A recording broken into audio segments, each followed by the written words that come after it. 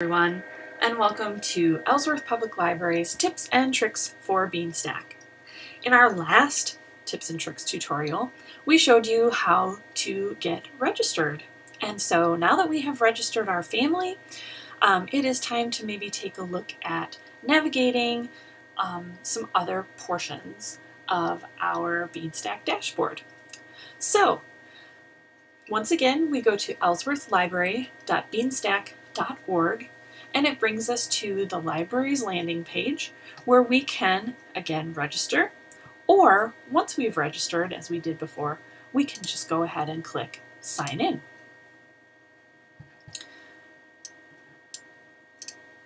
Now you can use your username or your email to get signed in. So I could use the email with the account or I could use the username and then you put in your password. And hopefully you remember that, but if you forgot, we'll have a quick tutorial later on how to fix that.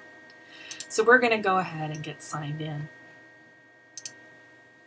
Now, when we have signed in, we will find our, here is our name in the upper right hand corner.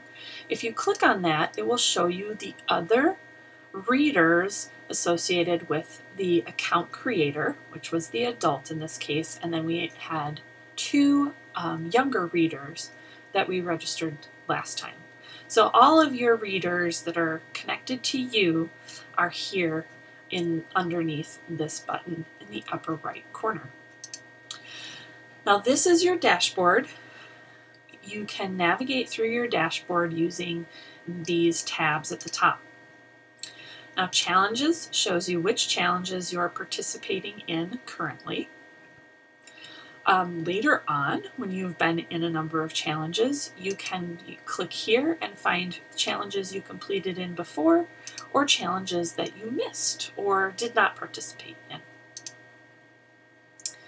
The other, the next tab here is all badges. So over the course of your working in Beanstack, you will see all of the badges you earned over all of your different challenges. And in our last tutorial, we registered for Frozen February Fun, so we have earned that badge so far.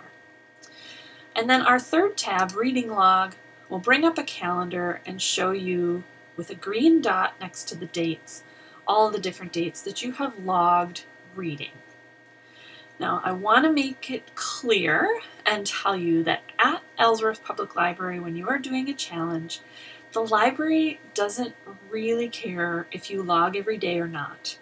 If you want to keep track some other way, um, for example, let's say we know we've been read at least 20 minutes every day, and if we don't get a chance to log until today, February 20th, we could go ahead and log 400 minutes for today if we go off of 20 minutes a day. So if you want to log every time you sit down and read because it's quick and easy for you, that would be great. But if it doesn't work for you to do that, you can log once a week. You could log at the end of the month. You could log in the middle.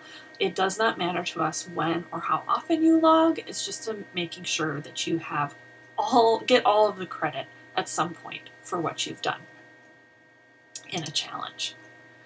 All right, so those are our tabs up here and the ways that you find um, those uh, different pieces of your challenges. And if at any time you can click over to a different reader, so here's our child who is in Frozen February Fun and Thousand Books Before Kindergarten, and you could take a look at their badges and their reading log and make sure that things are all set there and you can also click over and look at any of your other readers. Here's our teen who's in the Frozen February Fun as well. They have their registration badge so far, and we don't have any logged reading yet, but that's okay. All right, so that's how to get logged in and to find your different readers. And um, we will sign out and we will talk about logging uh, reading and activities in our next tutorial.